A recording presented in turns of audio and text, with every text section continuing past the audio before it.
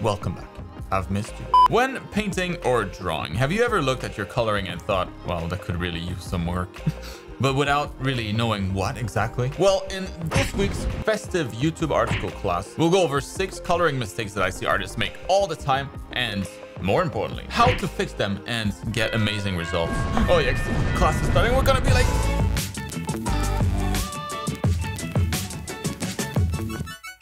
All right, class is in session. Pay attention. Coloring is hard. Whether it's choosing the right amount of contrast for a painting, or what process to even use for coloring, or why your characters look flat. As a teacher, I see the mistakes I'll highlight in today's class all the time. Let's fix that once and for all and level up your coloring game significantly after you've paid the class fee of either one like or one sub. Mm-hmm. That's better. All right, let's get started. Ah! The first coloring mistake to avoid is to ignore the power of gradient maps. Everyone should try them. I guarantee most of you will fall in love once you give them a shot. This will work the same in both Photoshop and Clip Studio Paint. Let me explain their full power. Get it? Let's say you have a drawing that you like that you decide to shade and color. The shading is done, but what do for the colors. We can then use flat colors and set the layer to the multiply blend mode to see the shading through it, but that still looks sad at best. You could tint that grayscale a bit for better results and try to go back and forth between the flats and the shading layer to get a combination that looks okay. Or you could slap a gradient map on top of that whole thing and do everything through that. This way we can control both the shadow color, the highlight colors, and anything in between. Even better, if you've been playing with this a little bit, you might have a bunch of gradients already saved that you can just use right away. It's so easy to get different variants and so easy to tweak them if needed. This controls everything. No need to ever go back to the layers underneath. And then later, if ever needed, you can go back to your gradients whenever you need to for maximum flexibility. Now to that, we just need a bit of highlights and um, boom, I'm done. Gradient maps are awesome. It's a mistake not to give them a go. The next mistake then is to overcomplicate your coloring process. And actually, before I show you the simplest coloring method ever, I need to mention the mega sale that I have going on for the holidays. Until the end of the month, you'll be able to get my complete art education program at a huge discount. Actually, everything else in my Cubebrush store too. The holiday break, if you have any, is the perfect time to start your art journey the best way possible. Use the link in the video description to check out the program and there's still some time left. Join us, over 13,000 students strong and growing.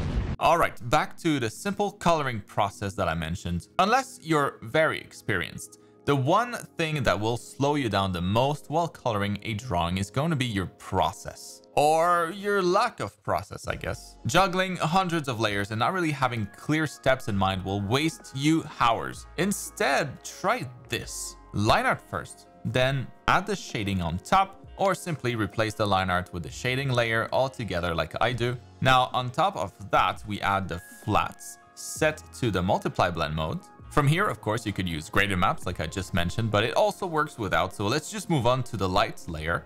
One for each light source. I have my key light here. This layer is set to the overlay blend mode. My rim light next, set to hard light that one since I wanted something a little bit more intense. Both blend modes can work just depending on the situation. Finally, I add a highlights layer set also to the hard light blend mode where I'll typically add makeup and material highlights, subtle stuff. In the end, we have like five to six layers tops and a fully colored drawing. Can't beat that, bro. As simple as it gets, no clutter, no guessing what's next, maximum efficiency. Clean up your process. Now, the next coloring mistake to avoid is to ignore atmospheric perspective or the loss of contrast in colors with depth. Maybe you're familiar with the idea.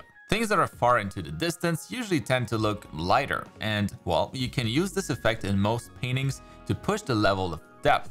These paintings work well because the foreground and the backgrounds both have different levels of contrast. More contrast and saturation in the foreground and less so in the background. If I jump to my forest here though, it has a bunch of layers, but right now they all share similar levels of contrast and saturation. There's no atmospheric perspective effect here and as a result, I'm sure you'll agree this looks pretty flat. It looks messy too since it's hard to tell what's what. When I start to desaturate each plane though, more so in the background and less so in the foreground, we get this nice sense of depth we were missing before.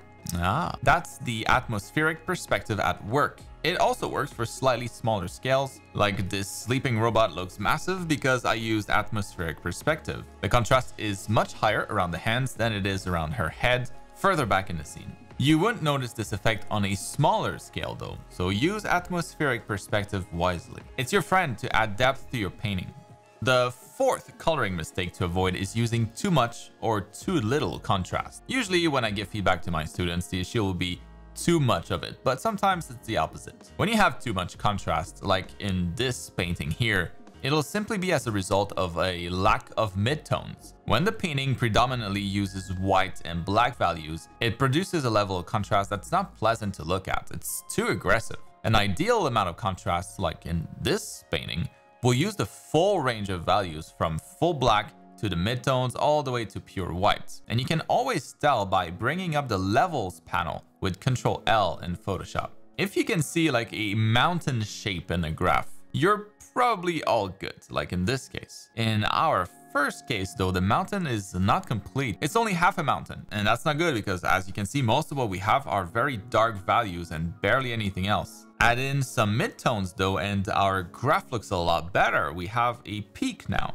That's what we want. And then also on the flip side, if you don't have enough contrast, the spread won't use the full width of the graph. That's how we can easily tell if you're not sure just by looking at it. Contrast is good in moderate quantities, not too much, not too little. So don't hesitate to use the levels tool to double check when you're not sure. The fifth coloring mistake to avoid is going to be a quick one. Stop using neutral grays for your backgrounds. I see so many character designs, character drawings that are presented with a simple gray background. Stop it! If you're gonna use gray, at least use a very light or a very dark gray. That's already much better. But preferably, you'd probably want to use a complementary color to the overall color of your character to help make it pop as much as possible. My character here is mostly yellow slash green, so a bluish, purplish background should contrast nicely against it. It's opposite on the chromatic circle. Like we just talked about when it comes to atmospheric perspective, the backgrounds should be less saturated than the foreground, aka my character in this case. Not only does this help make the character pop more, but now we also have a common complementary color harmony between the character and the background, a green and purple complementary color harmony. Win-win. Stop using mid-gray for your backgrounds. Although mid-gray would work great while you're coloring as a temporary color since it's neutral. Just make sure to get rid of it as soon as you're done. Anyways, moving on to the final coloring mistake. Not using the unknown power of material diversity. What is that? For context, the human eye gets excited with contrasts. All types of contrasts. Contrast in values, in saturation, in color, like with cool and warm colors, but also by contrast in materials. It's much more interesting to see a painting that features many types of materials than one where all the materials look the same, as I notice is too often the case, like this. The more variety, the better. More simply though, just have things that are shiny next to things that aren't. The most significant difference between materials will usually be their reflectiveness, how matte versus how reflective something is. If something is meant to be a hard material, it'll probably be more reflective, more shiny, and vice versa. Add highlights with that in mind. I'm sure you'll agree that this looks more eye-catching with the reflections on the doll's limbs, right? Without, not so much. And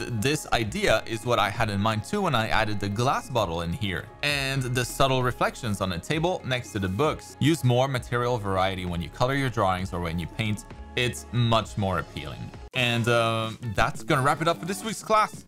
I hope it helped. Let me know if it did in the comments. I read them all as usual. And by the way, I made these paintings using brushes from my two custom brush sets, one of which you can download for free with the link in the video description. If you're still here, you deserve it for being a good student. I'm proud of you. Merry Christmas! And make sure that you come back next week for another YouTube Art School class. Ah!